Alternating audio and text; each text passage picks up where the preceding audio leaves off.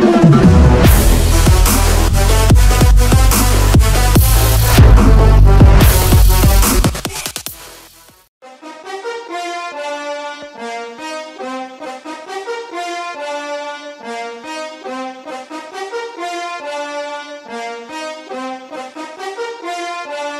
Look, I ain't trying to stunt.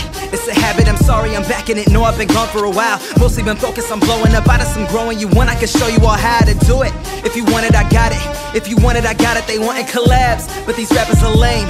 To be perfectly honest, I'm better without y'all.